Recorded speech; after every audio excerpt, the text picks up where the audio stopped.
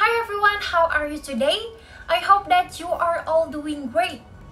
Some of you may or may not know who I am, so I will reintroduce myself. I am Happy Angela, a public relations student at LSPR Communication and Business Institute. Currently, I'm taking a class called Public Speaking and Presentation Skills with Mr. Charles Bonar Sirait as my lecturer.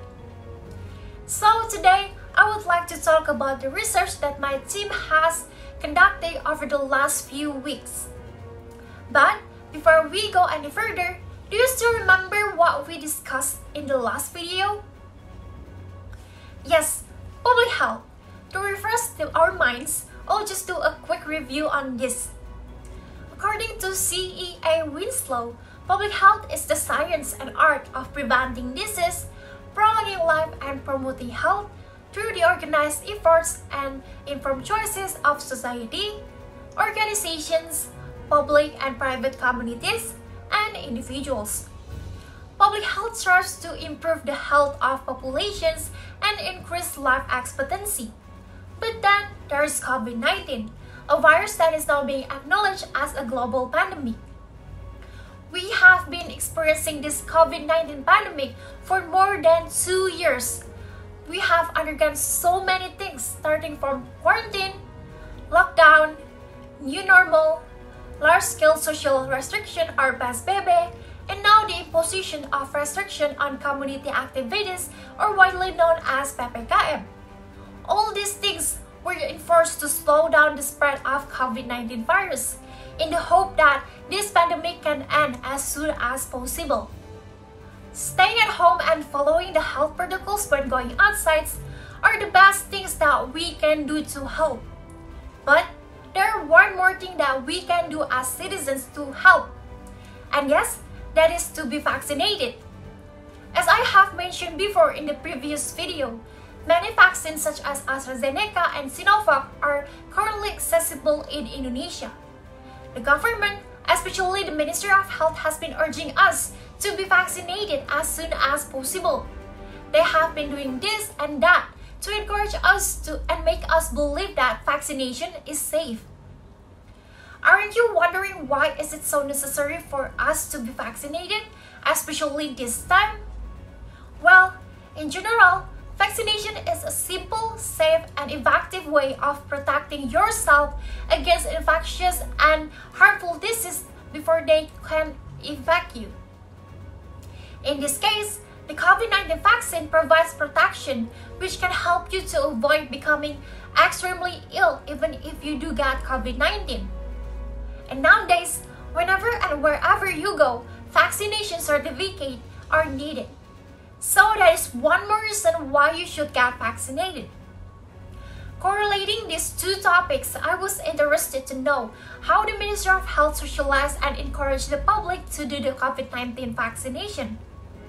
And as the result, my team and I have been researching the title An Analysis of the Ministry of Health of the Republic of Indonesia's Communication Strategy in Socializing COVID-19 Vaccination on Instagram we're using a qualitative research method which is in-depth facts analysis.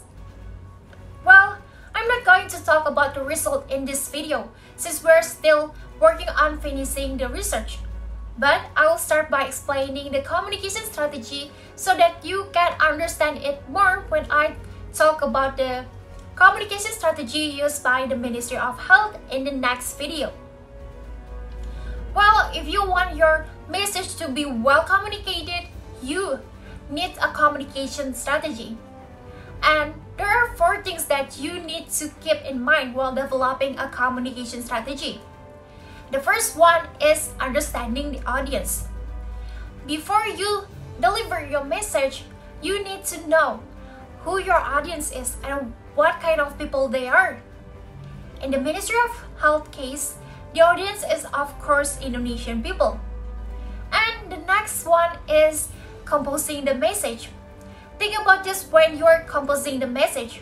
What kind of goal you want to achieve and what kind of reaction you would like to get from your audience. And remember, you must use a language that your audience understands.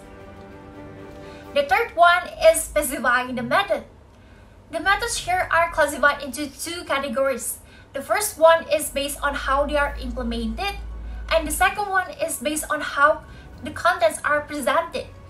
According to the way it is implemented, there are redundancy and canalizing methods, while the latter includes informative, persuasive, educative, and coercive approaches.